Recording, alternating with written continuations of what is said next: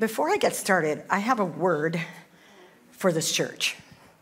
You know, um, in the scriptures, in Matthew, talks about the authority that was given to God, to Jesus. And it says, All authority has been given to me. And um, no, I'm going to give it to Angelica, who is going to give it to Clarissa, wherever Clarissa is. That belongs to Clarissa. there she is, wonderful Clarissa. Can we just give it up for Clarissa? She just snuck out of the room.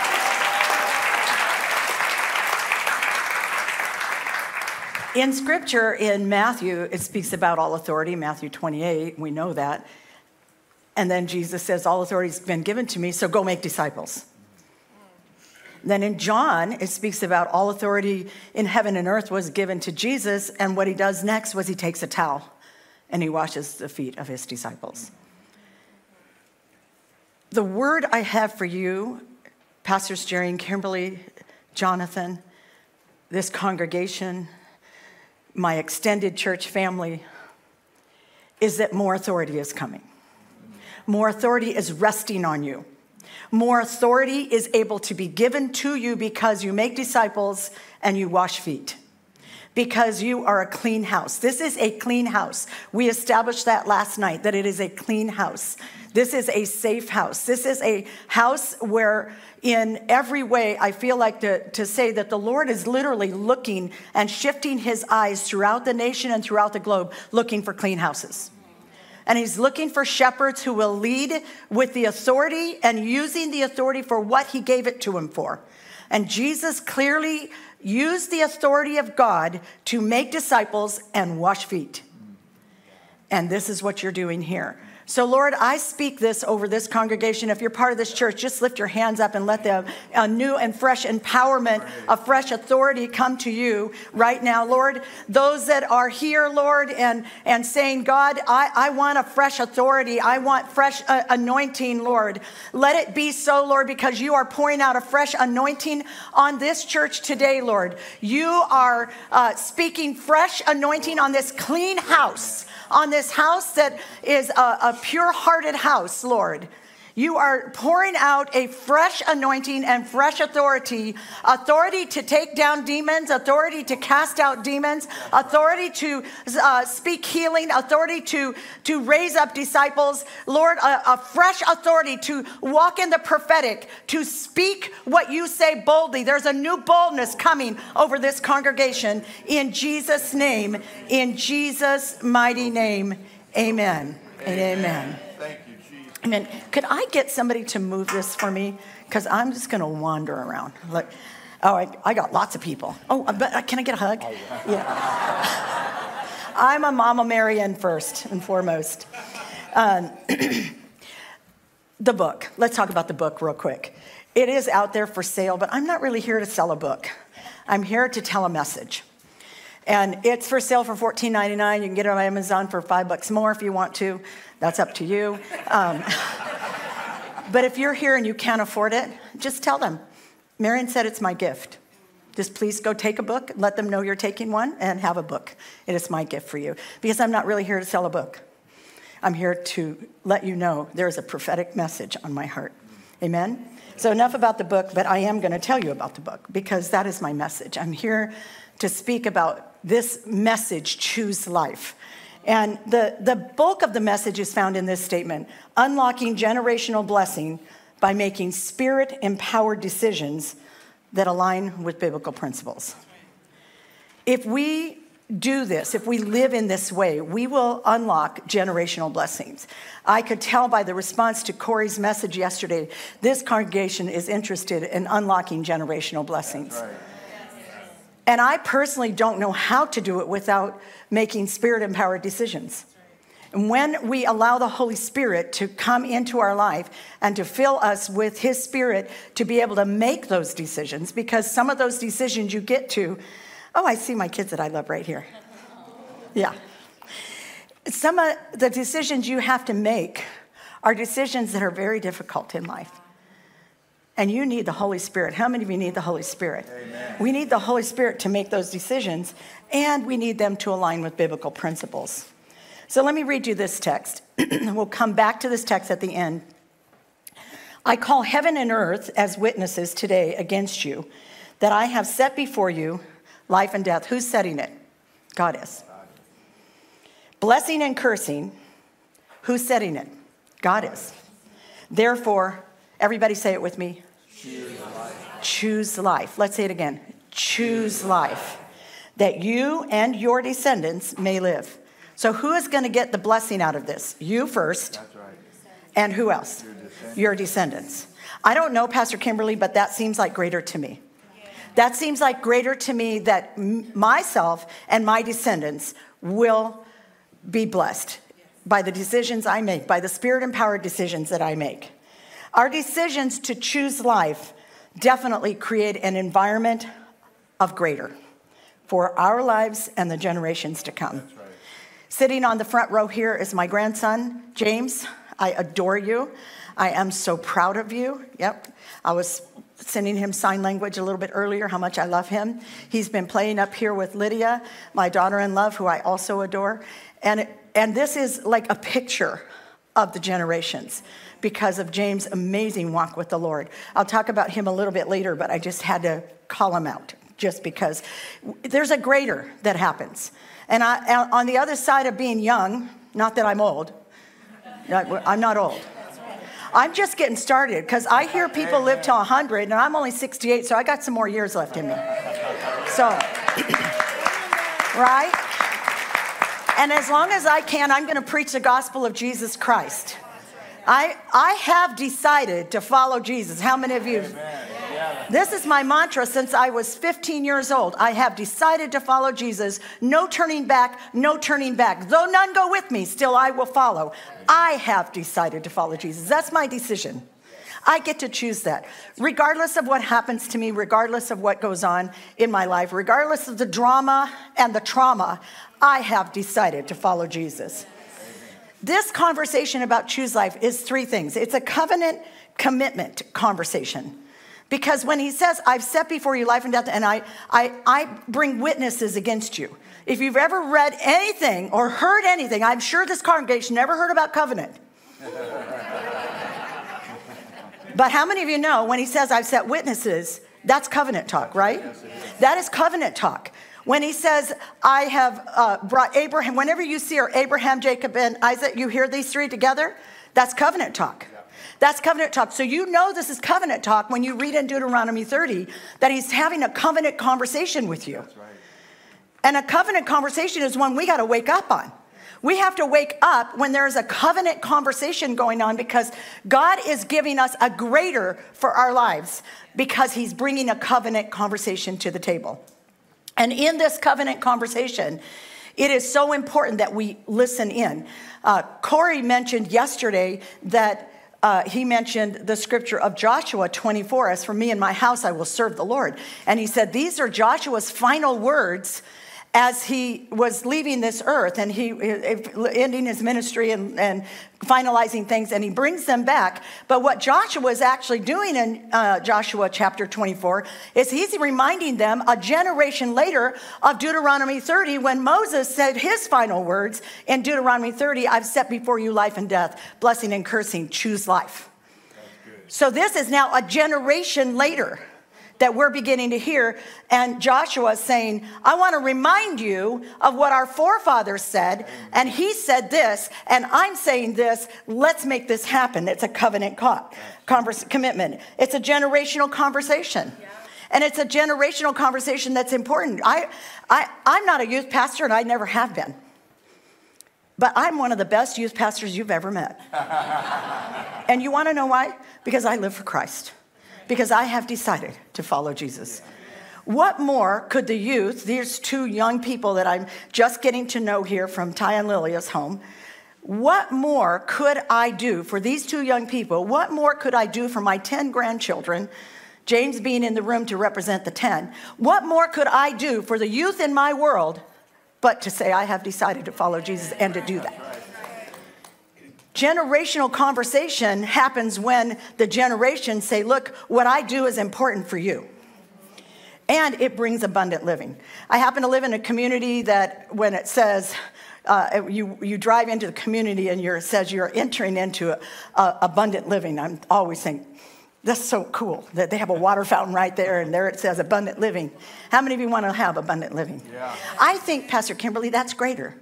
That's greater. We don't have to live the depressed, the unhealthy. We don't have to live in, in we don't even have to worry about the drama and trauma that comes our way because we are living in abundant living.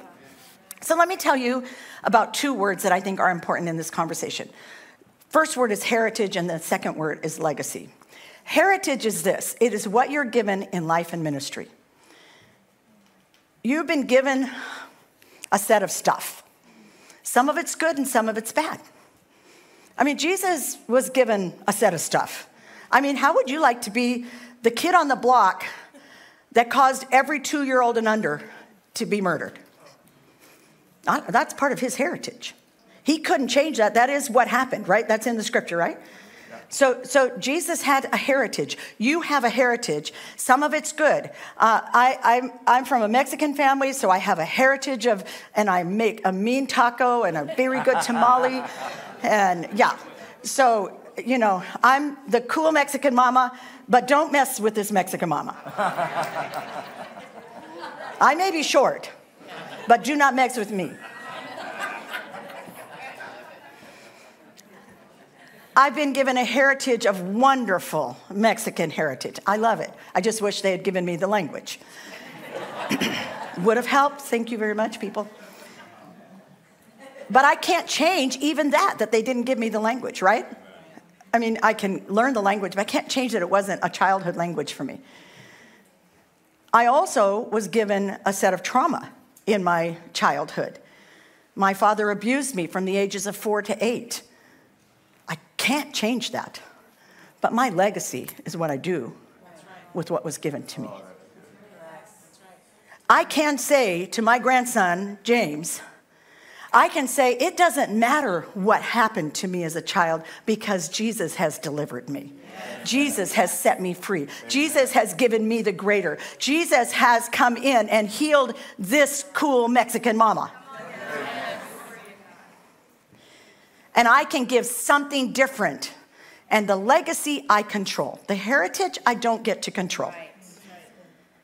So if you want to know what you can do with your life, look at your heritage and say, some of it's good, some of it's bad. Take the good stuff and move on forward. Take the bad stuff, get healed, and begin a legacy. Yes. As I began this journey in writing the Choose Life book, there was a text that became very prominent to me I write about it in the introduction of the book. And it's this text, we repeat it a lot, John 10 10. Everybody repeats this text a lot. John 10 10 says this The thief does not come except to steal and to kill and to destroy, right? We know this. I have come that they may have life and that they may have it more abundantly. This is an abundant conversation. So, this text puzzled me for a long time. Because I would hear it everywhere you go, and I've already heard it in this conference even. And it's been it's quoted a lot. How many of you have heard this text before, right? So I was puzzled by it because I get the idea steal. And these things are in order. They're a series, and I don't think it's a mistake. I mean, Pastor Jerry just said the word is for inspiration, all of it, right? And so we can look at a series one, two, three kill, steal, kill, destroy. Everybody say it in that order steal, kill, destroy. I get stealing. I had a beautiful handbag that was stolen out of my car. Uh, one day, it was very early in the morning, I had gone to the gym, not something I like to do. And after that, I decided, no, I don't have to go to the gym anymore. They steal bags out of my car. Came out at 6:30 in the morning, and I was just like a hot mess. My windows crashed in, and my favorite bag is gone. And I felt violated. You know, have you ever had anything stolen from you in physical, like robbed from you? Um, you know, I know Lydia and Scott were in a bank robbery and at gunpoint. That's a whole story in itself. Like, it, you know, and as a mom, just hearing the story, it's like? You know, but it's a, it's a violation. And you've had things stolen from you by the enemy. You've had your joy stolen from you. You've had, uh, you've had good life stolen from you. You've even had finances where the enemy has, has come in and you've seen that thievery happen. And then there's kill. So I get kill. Kill is dead, right? Gone, annihilated. I'm gone. I'm out of here, right? I am gone from this earth. If you kill me, you're having a funeral for me, right? If, if, I'm, if I'm killed, I'm gone from this earth, right? Everybody get the picture? How can you destroy me if I'm killed? Why is destroy not before kill? I'll tell you why. Because the enemy wants to destroy even your legacy that you would leave on this earth after you are gone. The enemy wants to destroy anything that would be left of you, even for the generations to come. The enemy wants to take your very life, not only to steal from it while you're here, to kill you and get you out of this earth, but he wants you to be annihilated out of the entire world, period. He does not want you to leave a legacy for the generations to come. The enemy of your soul is interested in taking your testimony and destroying it so that it cannot be left even after you die. That is no mistake. He came to steal, to kill, and to destroy your legacy. Your legacy lives on after you're gone. If I get the privilege of living till at least 100, I'm still gone. But I am telling you what, I plan to leave a legacy that will live on this earth after I am gone. I plan to keep preaching Jesus even after I'm gone. Even after I'm in the grave, even after I am buried in the grave, I believe that my life should be preaching the gospel of Jesus Christ. That is in part why I wrote the book because I knew that if I could get it in print, if I could put it down in print, if I could put it in print and say, This is important, people, this is important. And it's so important that there is a scripture that we commonly quote about it, but God says that He came to give you life and that you would live it more abundantly. You know, there's some things I didn't know when I was young. I first came to Jesus in April 19th, 1971. And I, some things I didn't know. I know them now. One of those things is choosing Jesus is synonymous with choosing life. I didn't know that. I just knew I walked down the aisle of a little church in Tucson, Arizona, gave my life to Jesus Christ, but I didn't know that in that moment I was choosing life. We've got to connect the dot back to the moment that we accepted Christ. The moment you accept Christ is an important moment in your life. It's an important moment in your journey because it's the first time that you really choose life. I didn't know that my decision to serve Jesus would stand the test of time. Here I am, 1971, 2024. I have decided to follow Jesus. No turning back, no turning back. It stands the test of time. I didn't know that pain and sorrow and grief would call that decision to fight for me. That decision on April 19th, 1971, was always prominent whenever there is pain, whenever there's sorrow, whenever, whenever there's grief. I didn't know that then. I know it now. And I didn't know that my decisions to choose life would invite me into a partnership with God. Can you imagine that God cares enough about a little 15 year old girl from Tucson, Arizona, that came out of a broken home, mother married and divorced five times, came from complete, absolute, utter destruction, was on a pathway of somewhere that was nowhere good, and says, If you decide to follow me, you get a partner with me. You get to do what I do, and greater things, and greater things. Listen, choose life Here's a thought I want to give you. I'm going to give you three thoughts about choosing life. This is the first one choose life by making decisions that ridicule hell. Isn't that a great thought? I think it's greater, right? Like, let's embarrass hell. Let's embarrass the demons. Let's make them so upset. Oh, she got up again. What? that, you know, I didn't expect her to do that. Like, I want to make some decisions in my life when, when the world comes at me, when problems come at me, when situations come at me, I want to make some decisions that are greater. I want to make some decisions that will certainly call hell to a place of embarrassment. Oh, shoot, she did it again. She did it again. I'll show you a picture of my husband and I. Pastor Jerry referred to how old, how long we've been married. We've been married for 52 years. There's the then and the now. There's a long road between then and now.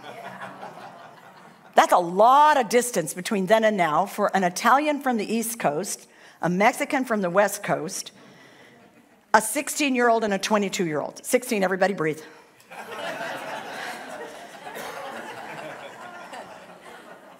you get to be married 52 years and still be young when you get married 16. He's an old guy, though. Joe, I love you. He's watching. But I mean, really, we had Jesus, but unless we continued to choose life, we would never be the couple in the second picture. Wasn't even possible. Unless we would say yes to Jesus along the way, unless we would continue to say yes to Jesus, unless we would continue to choose life along the way. And trust me, there were some things and situations that happened in our life that would cause us to be that couple on the other side or cause us not to be. You get to choose what the end of the story is. One is heritage and one is legacy. The couple's coming into the marriage with heritage with a lot of baggage, a lot of situations, first generation believers. We don't even, hey, when I got, you know, when I got saved in 1971, I didn't know, I had never seen a Bible. And I didn't know there was a New Testament and an Old Testament. I remember seeing the Bible for the first time with my best friend's mother and father, and they were sitting, I was going to high school, and I saw the Bible, and they were writing it. They've got little glasses going like this, you know, and they're sitting in these little rocking chairs. I thought they were ancient, they were probably 50.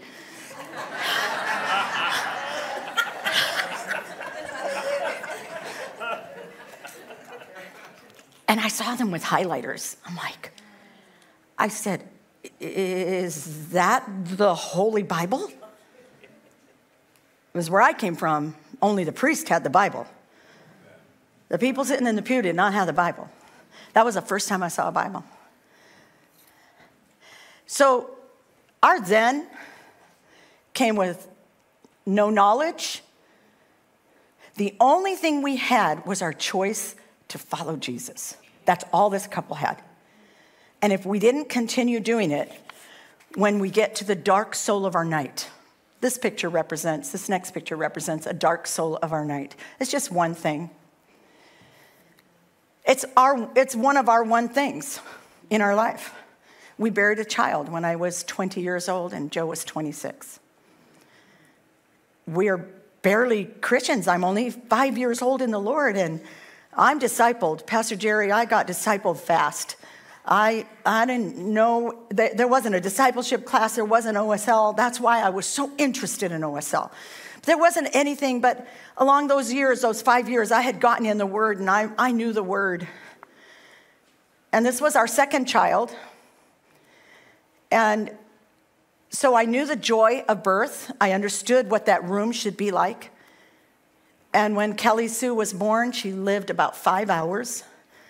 And then my handsome husband, 26 years old, walked in the room. And I could see the weight of the world on his shoulders. I knew what he was going to say to me by the look on his face. And he came over to me with a gentle, gentle heart that I'll never, ever forget that moment. And I'm sure even now Joe's just remembering it and probably sitting in our front room weeping as I'm telling the story. And he came over and he told me, honey, she's gone. And I said, I know. And I grabbed him close to me and I said, We're going to serve the Lord. And he said, Yes, we are. Choose life in your darkest of night. Choose life. This moment, we're going to serve the Lord changed everything. I didn't know it then. I didn't know what this meant. I didn't know when I pulled him close to me and said, We're going to serve the Lord. I didn't understand the power of that moment. I just knew that was the only thing that was in my heart. We're going to serve the Lord. We're going to serve the Lord. Here is what that decision resulted in a legacy of blessings. A legacy of blessings. You can flip to the next slide. These are our three children, three households, all households that love Jesus. I could, I'm a Grammy, so I could tell you stories about all 10 of those grandkids and my two sons and my uh, daughter and my two daughter in loves and my son in love. I could tell you stories about all of them, but I, I'll pick out a few things just to tell you quickly. This bottom story here, the family, is Scott and Lydia. They're our youngest. They've ministered here in this pulpit. Lydia's here with me. She's just beautiful. I love her. She is, I cannot call her and Angie daughter in law. I cannot do it because they're daughter in love. And I adore these girls. Lydia, I love you with all my heart. I believe in you. I'm going to pick on James because he's in the room. But James made his decision to follow Christ. I don't get credit for it, but I wonder did this have something to do with that? Did this moment in 1976, when James wasn't even thought of, did this moment, we're gonna serve the Lord, change this young man's life? I think it did. I am so proud of him. He's a worship leader, he's a preacher, he's a songwriter, he is diligent to serve the Lord. He follows Christ with all his heart. He's here because he wants to be here. He's sitting on the front row because he wants to sit on the front row. He loves Jesus with all his heart. If you think you care anything about your family, you got to do this. You got to do this. You got to say, We're going to serve the Lord in the darkest of my night because there's a James that might be impacted. Let me tell you about another family, the one up here on the right. That's Carrie and Jeremy, and their beautiful children. And they love the Lord. They love the Lord. They're watching too online right now. I'm just going to tell a quick story about Ezra. Ezra is 10. And I asked Ezra and Lucy the other day on the way to school, What's your most exciting thing about going to school today? Oh, we get to go to chapel. They go to a Christian school. And Ezra just asked his mom, Can you please get me a cross? I want to wear a cross of Jesus. Did this decision cause that child to be able to want to wear the cross of Jesus around his neck. And then the top picture, Aaron and Angie, just amazing. Amazing, amazing family. Love them all. I just want to tell you a quick story about Abner. He's the guy in the plaid shirt. He's James's cousin. They're very close friends. And Abner came alive in Christ last year. He came alive in Christ last year, and with about 30 kids sitting on the front ground of his church that they attend. In October, he got water baptized. And when he came out of the waters of baptism, he did something that struck me.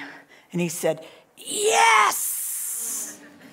And what this grandmother thought was this meant this.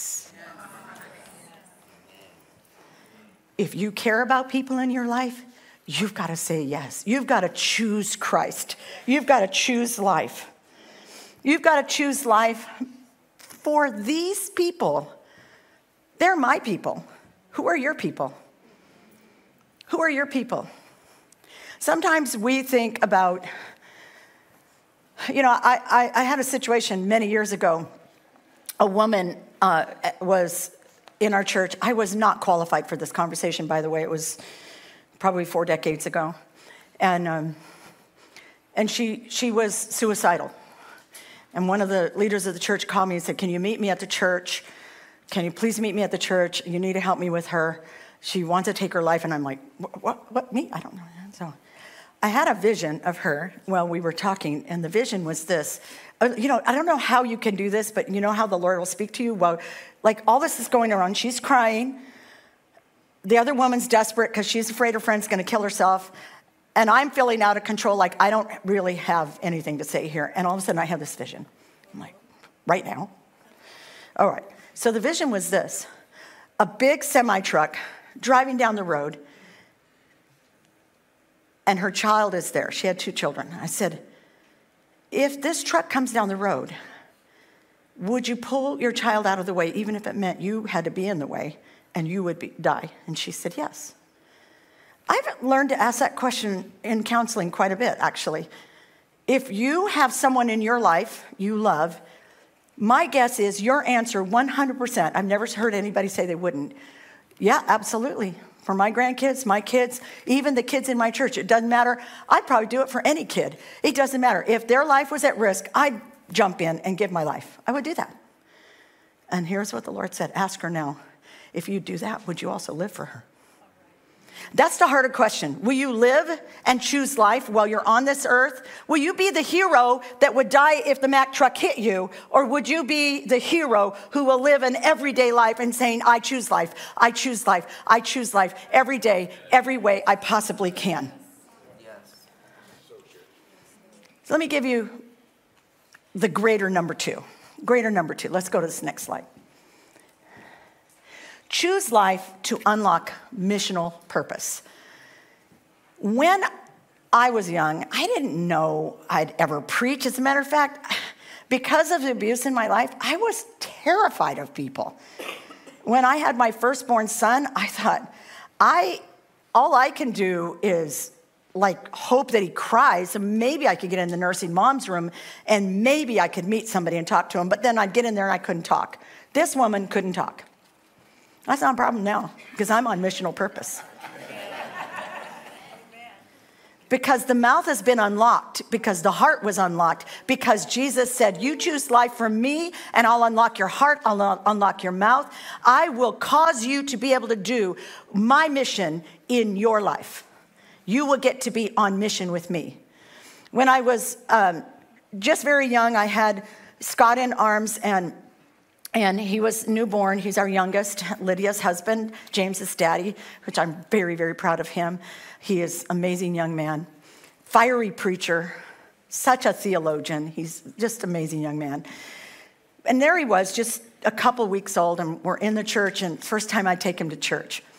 And while I'm in the church, we're in a church where, as Pastor Jerry said, you know, it's com- common in some places where women not to minister. So I was in a church where women didn't minister.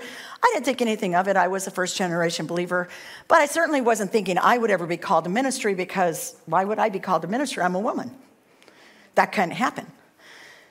So I'm holding Scott, and the women are clucking around me, and they're looking at this absolutely dreamy, gorgeous child and they're looking at him, and as women do, you know, cluck, cluck, cluck, right? So,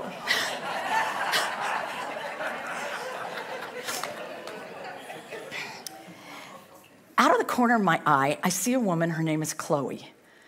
Now, Chloe, in our church, women didn't get to preach, they didn't get to lead anything, they weren't elders, they weren't leaders. And again, I don't think anything of it, it wasn't an issue to me.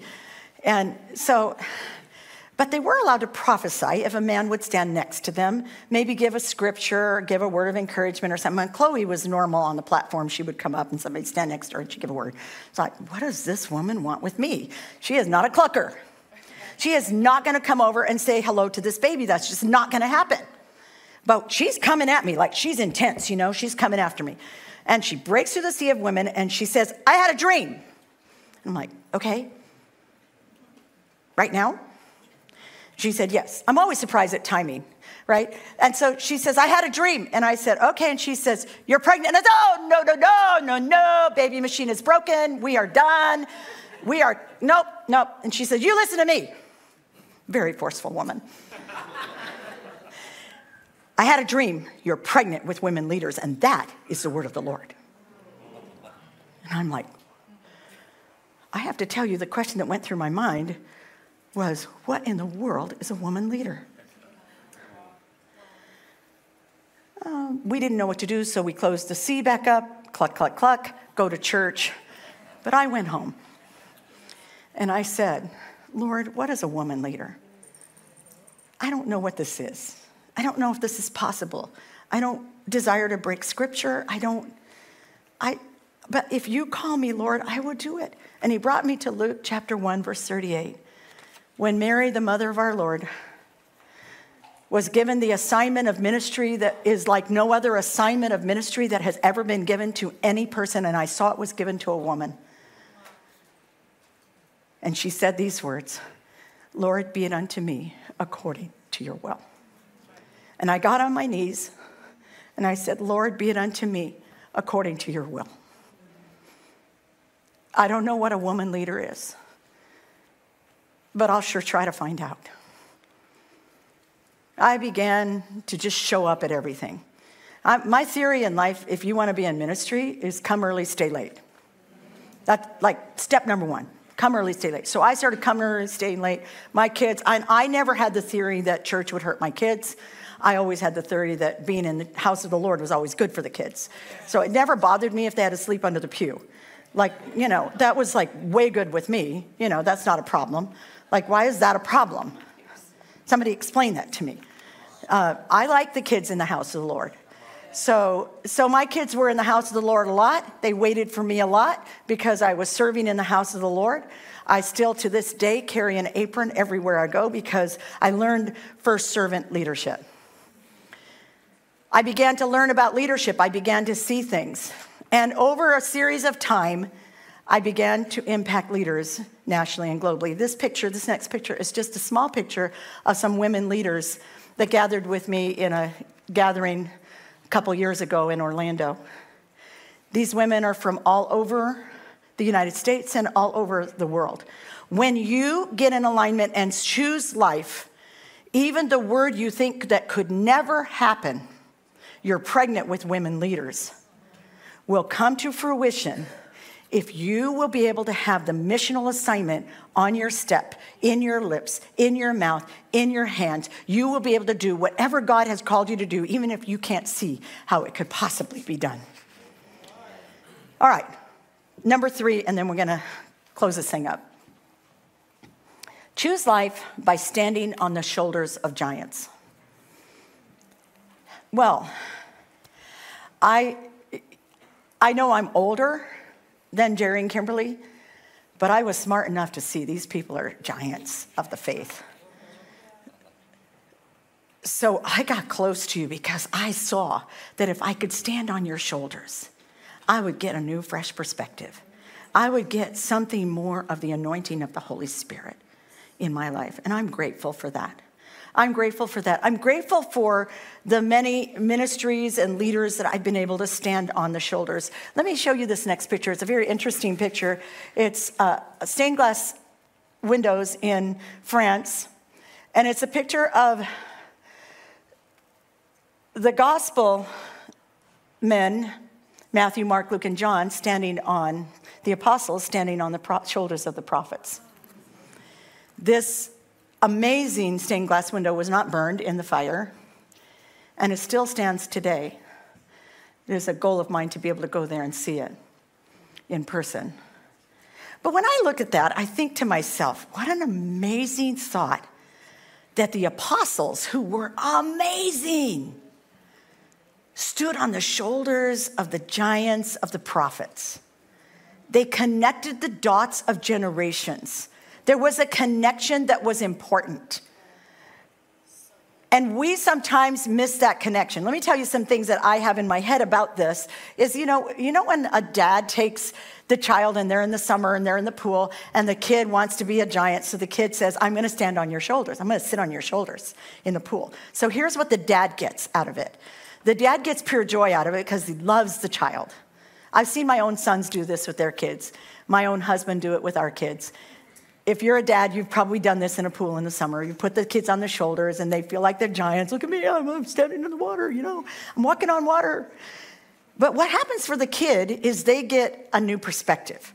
What happens for the dad is they get water in their mouth, they get kicked by the feet, they get hands over here. I can't see anything. The perspective for the prophet was not the same as the perspective for the apostle. The one who sits on the shoulders gets a fresh perspective because the one who let them sit on the shoulders sacrificed themselves. I want to do both and. I've always wanted to sit on the shoulders of giants. I've always said to myself, I will surround myself with men and women like Jerry and Kimberly. You are certainly, certainly giants of the faith. You are worthy, worthy prophets to sit on the shoulders of. And you have given so many people fresh perspective, even at the sacrifice of your own perspective at the sacrifice of your own life, you have allowed other people to see things and to have fresh anointing and fresh calling. I have watched you with leader after leader after leader come in and through this ministry. Some stay here, some go out, and many are out throughout the world and the nation because you've let them sit on your shoulders. You, yes.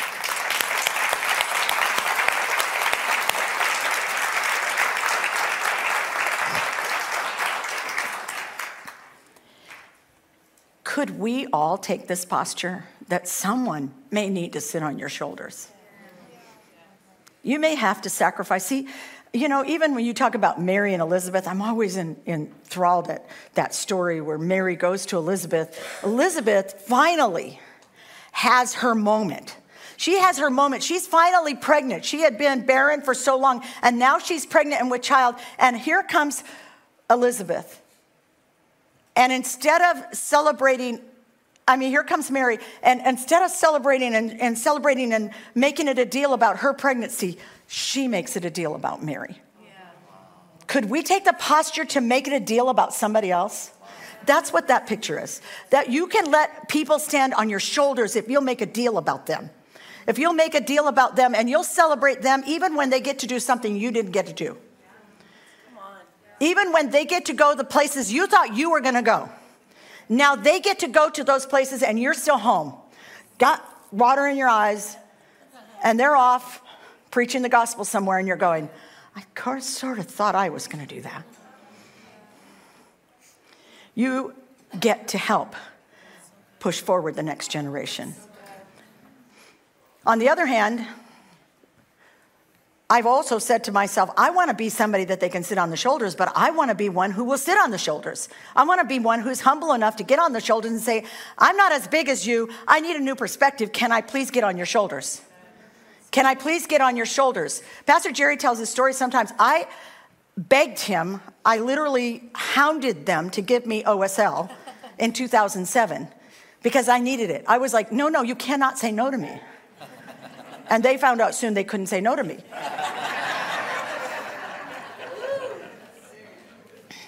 but I did that because I wanted to sit on the shoulders of a giant. And I wanted what you had to go to my people. I had a perspective about it going further than they had a perspective about it. The minute I sat on their shoulders, I could see it going to the nations, and it has. Come on. Can I have the worship team come back up just so you'll feel like I'm almost done?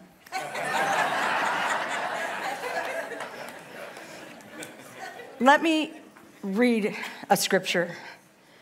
I want to read the text to you. And by the way, after I'm done, we're going to take a break, and then Pastor Ty is going to come bring a word. I'm telling you, it was a God thing for me that Pastor Ty and I could preach on the same pulpit in the same hours. I so respect you, and I'm so, so blessed. You are an amazing, amazing leader.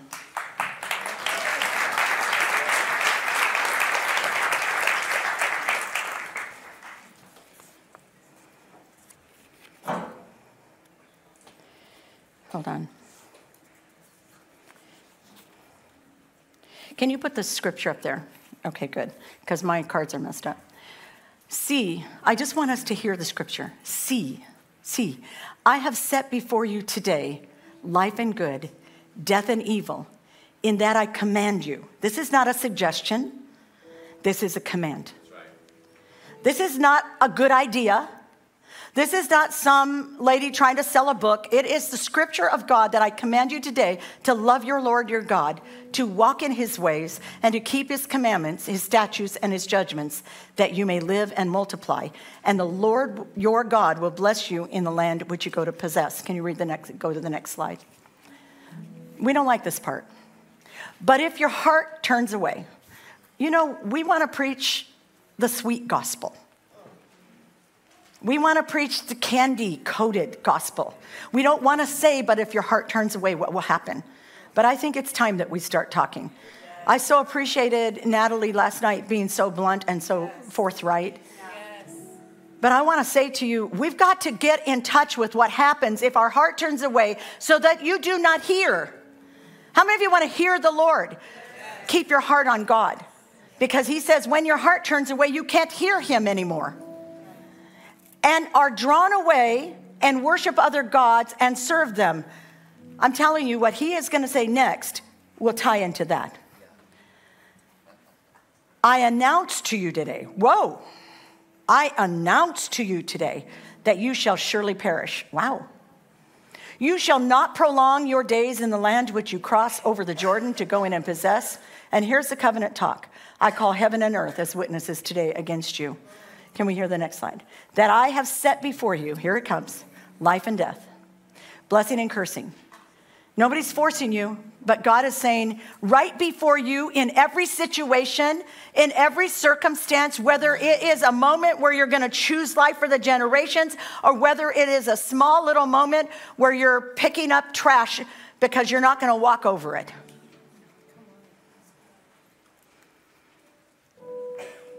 I went in the ladies' room this morning and the sink was all full of water. And I know this church Tris treats me like a queen. I could have thought to myself, that's not my job. But I took some paper towels and I started cleaning up that sink because I choose life in everything.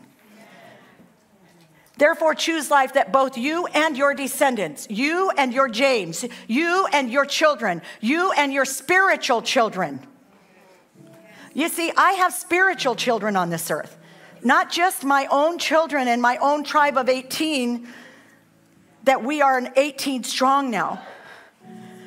That's my tribe. But I choose life for them, but I also choose life for, for people I n- never knew that I would love. I didn't know. I didn't know what I didn't know. I didn't know who I would know.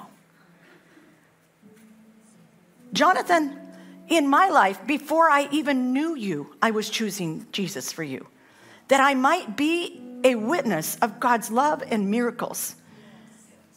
And when I met your parents, I knew how important it was that I stay the course for you.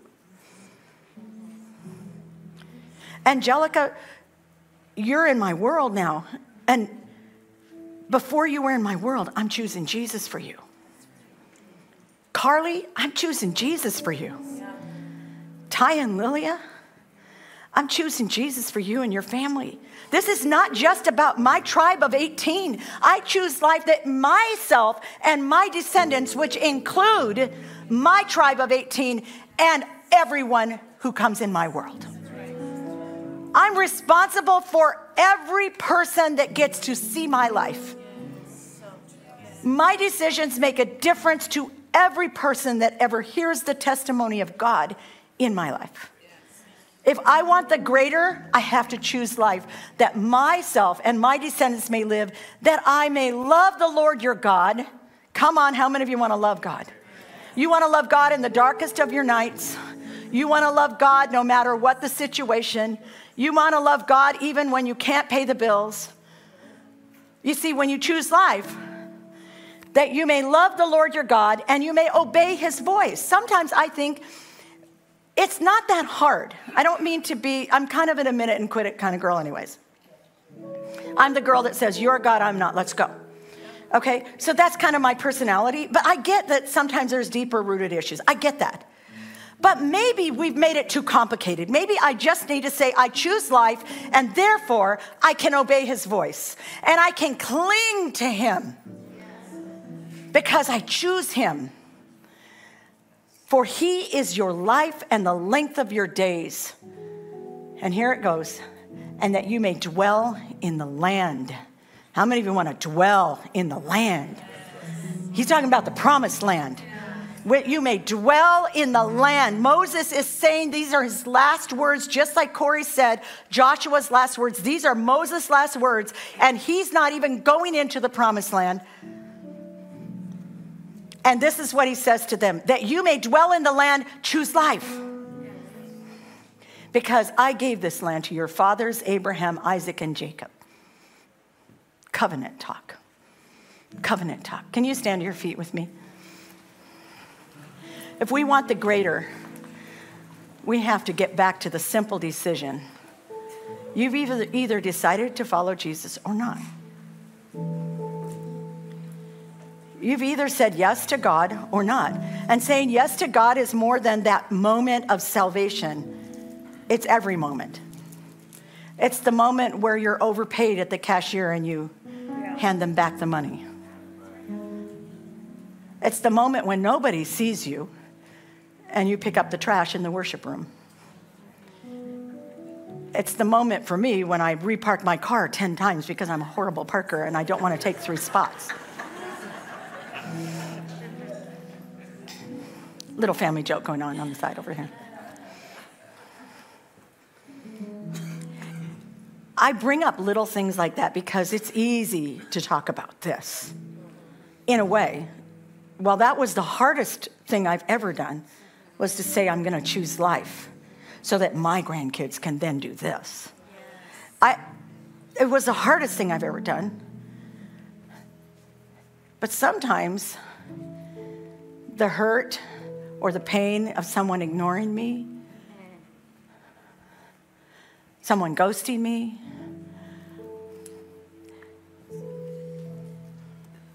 things happen. I love what your pastor said last night. We always think first the best.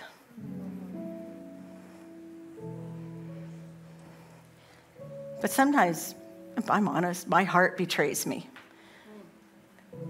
And I want to think they did that on purpose. And I want to go to my corner and everybody hates me.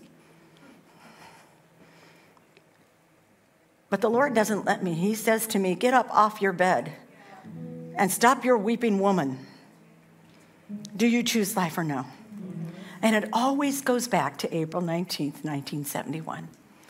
I have decided to follow Jesus. Did we make an altar call or did we make a life call?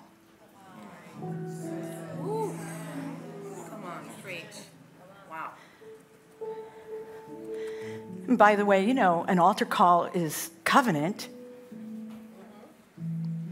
So when I give altar calls, I never say every eye closed and every head bowed because I've never heard a preacher say when the bride came down the aisle, now everybody stand up and close your eyes. That's right. That's right. Because if I'm not uh, misunderstanding the scripture, when I get saved and I say I have decided to follow Jesus, that is me getting married to Christ. I'm becoming the bride of Christ.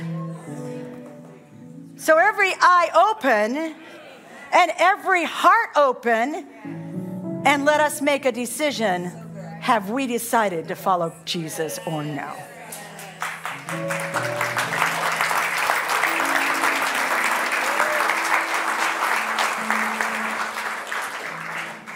I have decided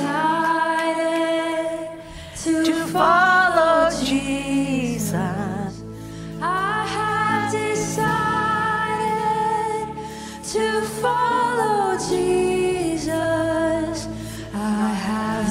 Decided to follow Jesus. No turning back. No turning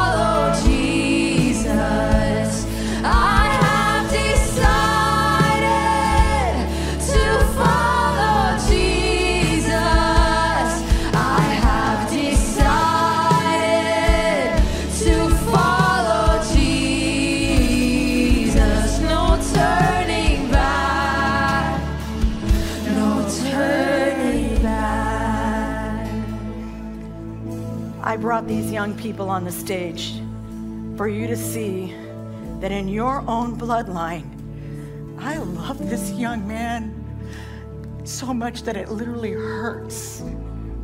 He's my grandson. If you're a grandparent, you understand what I'm saying. I will live for Christ for you. You.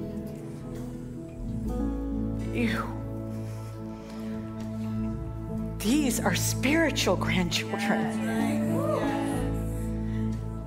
that I really just am getting to know.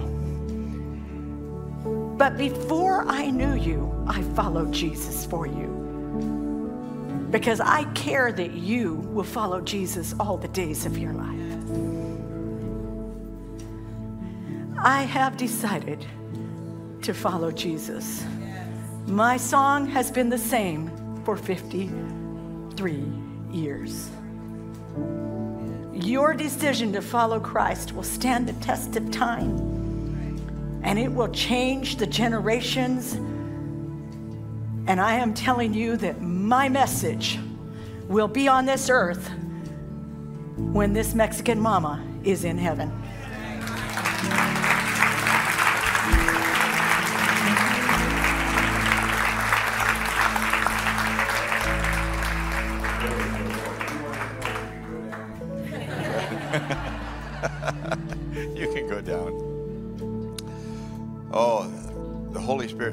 So much. Stay here, Marion, please. The Holy Spirit's saying so much. One, one of the messages that the Lord is bringing to us is this decision in pain. Now, why, why is that a big deal? Because right then the thief comes and says, You see, look, you said you're going to serve the Lord, and look, what good is it doing you? Right? The father of lies. As if Satan will steal from you and then say, See what God did to you? The father of lies. And Marion's decision and Joe's to say, We're going to serve the Lord. We may not understand everything, but we trust Him that there are reasons behind all of this, right? We may not know all the reasons, but one thing we know is He's on our side. He is our Savior. Without Him, we've got nothing. That's so powerful. But you know, that's not the default for most people, that decision. But it became the default. It became the default to where anything else that comes, you know, you don't have to stop and think, well, should we make that decision again? It that becomes the default. That was a defining moment to say this hurts worse than any other pain we've ever had. And at that deep, dark place, we're going to serve the Lord. We're not going to believe the lies in our head that He is not with us, that He can't be trusted, that He's not going to bring us victory and eternal life, that our child is not going to be in heaven with us for eternity. Oh no, we believe it all. And we're going to follow Him even if we hit these serious walls, smash into these walls in life. And you don't have to contemplate it anymore, right? You just you make this decision to say this this is it forever. And then it wasn't the last hit. It's not going to be the last hit. But no, that, that decision is made. So you just, it just reaffirms. Just yeah, yeah, well, we've already made this decision. We're serving the Lord. And some of you in here, and some watching, listening, the Lord's saying, now you make this decision.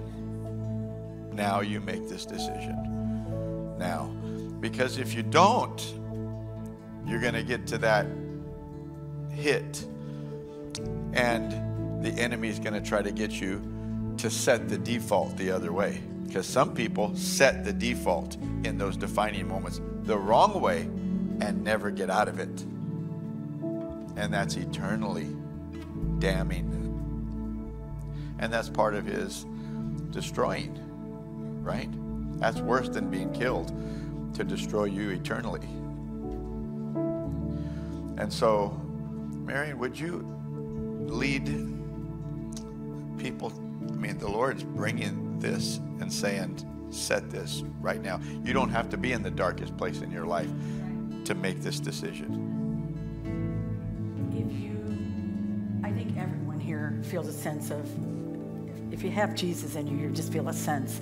But if you feel a sense that you need to make a movement with this decision, I'm not asking anybody to close their eyes, but if you feel a sense of doing that, just move out of your seat and come up here. Nobody's going to pray with you. It's just you standing and saying, I'm, this, this, I'm going to do some business with the Lord. Well, I begin to pray. Just move out of where you are and allow yourself to just be seen publicly saying, right now I'm making a, I'm, I'm re, re, redoing this decision. And I don't mean just your salvation, just maybe you're going through something and you just like, wait a minute, I, I don't think I was choosing life in that. So, Lord, right now, all of us in this room, we lift our hands to you and we just say, Lord, we choose life. Lord, we choose to follow you, Lord. I know I've been walking with you for 53 years and I, I, I get up every day and say, You are God. You are my Lord. I know I'm not. Let's go. Lord, so for all of us in this room and all of us online, we simply say, Yes, we choose life. And those, Lord, that have moved from their place and said right in front of everyone, and if you're in your house, maybe just stand up and say, That's me. I'm, I, am i am going to make, I'm going to renew this covenant with you, Lord. Because you're a covenant keeping God. You're a God who keeps your promise. So, Lord, for those that need that extra moment with you, Lord, would you anoint this moment, Lord? Would you anoint their standing, Lord? Would you anoint the fact that they made it public in front of everyone, no matter what anybody thought of them, oh God? I have decided to follow Jesus. That's my choice. I have decided to follow Jesus. That's my decision. I have decided to follow Jesus. I don't care what the circumstance is. Some of you have to look at the circumstance and say, that circumstance is smaller than my decision. The greater in this story is my decision to follow Jesus. The greater in this decision, in this mis- in this misery that I might be in, is my decision to follow Jesus. So Lord, we say yes to you today. And Lord, if there's any online or in this room that have never said yes to you before today, and this is their defining moment. I pray right now, Lord, a prayer of faith. Can we all say these words together in a, in a declaration? I have decided, I have decided to, follow Jesus. to follow Jesus. Though none go with me, go with me still, I will follow. still I will follow. I have decided, I have decided to follow Jesus. Follow Jesus. Amen.